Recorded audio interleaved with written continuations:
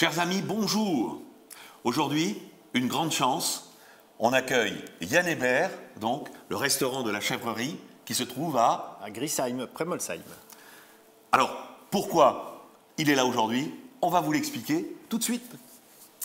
Yann, d'abord, on va parler rapidement un peu de la chèvrerie, si tu es d'accord. Oui. Donc, explique-nous un petit peu le parcours, ton parcours, le restaurant, et ensuite on viendra à ce qui est un peu l'objet de la journée, c'est le fameux concours de la folle choucroute qui a eu lieu à la foire européenne. et où vous avez été Gagné. vainqueur. Voilà. Super. Alors, la chèvrerie, c'est quoi?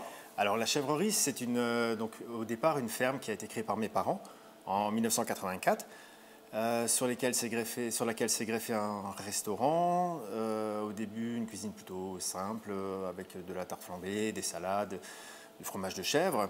Et euh, Cynthia, mon épouse, et moi avons repris le, le restaurant en l'an 2000, donc ça va bientôt faire 20 ans. Euh, et actuellement, nous y faisons une cuisine euh, totalement différente de nos débuts, avec une réelle cuisine du produit, locale le plus possible, et, Très inventive, hein et très inventive. Voilà, Voilà, c'est ça. D'accord. Donc, la chèvrerie, pourquoi? Parce que on y élève des chèvres? Absolument. Alors, à l'heure actuelle, mon frère et son épouse euh, élèvent toujours environ 70 chèvres laitières et fabriquent du fromage Ah ouais. de chèvre. voilà. D'accord.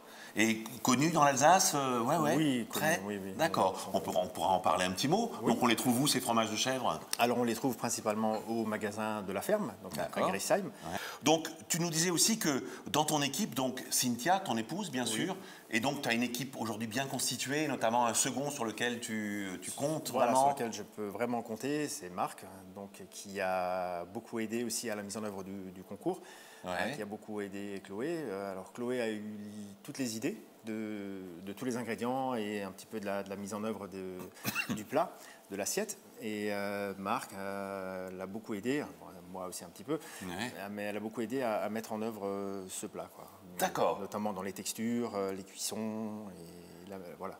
Donc ça, on va en parler dans peu de temps parce que Chloé va nous rejoindre tout à l'heure. Et donc on, on ira et on va réaliser cette, euh, cette prestation. Encore dernière question donc. Yann, un peu ton parcours. Je sais que tu as été au lycée hôtelier il y a quelques années en Il y a arrière. quelques hein années, voilà, je suis de la promotion euh, 1991. ah ouais. Voilà. D'accord. Belle promotion. Ah oui. Hein, donc euh, Ah lycée oui. hôtelier de Strasbourg. meilleure, voilà. Le, le meilleur. voilà.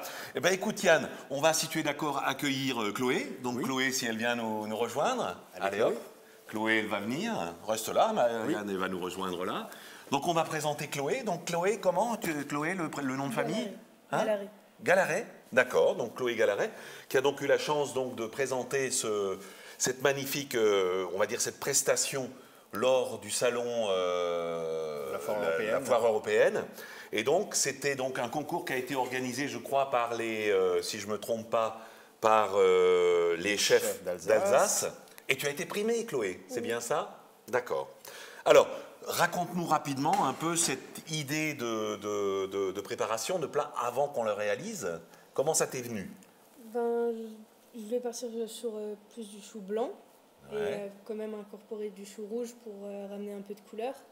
J'ai décidé de mettre du poulpe aussi pour que ça fasse un peu terre et mer.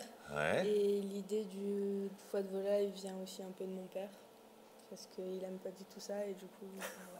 D'accord.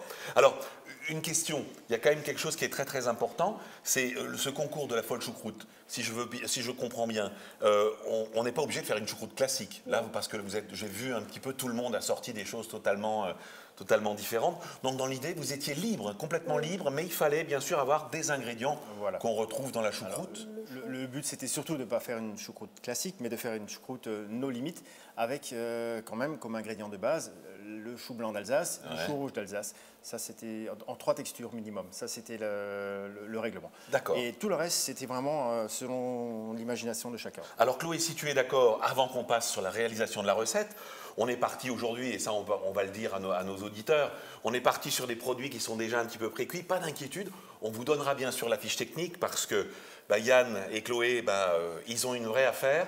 Tout à l'heure, à 6h30, euh, il faut vite revenir parce qu'il Bah oui. y a une activité assez intense en ce moment à la chèvrerie et on en est très content. Donc on va faire rapidement le tour, un petit peu. Donc Chloé, si tu es d'accord avec moi, on va se regarder là. Donc première opération, c'est le chou blanc.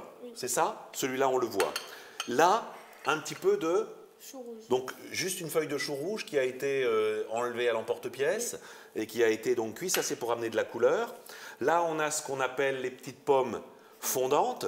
Donc ça on rappelle rapidement, pommes fondantes c'est cuit dans un fond blanc, mais là en l'occurrence c'est cuit dans un, Fond brun. un fond brun donc pour lui donner euh, une jolie couleur. Euh, ça ce sont deux petites euh, tuiles De chou. de tuiles de chou donc qu'on va voir euh, là, voilà. Donc ça, ça va amener un petit peu de croustillant. On a ici les petites, euh, comment on appelle ça? C'est les pousses de moutarde. Voilà, c'est des petites pousses de moutarde. Et c'est là quelque part qu'on a un petit peu cette particularité. On a du, du poulpe, c'est ça?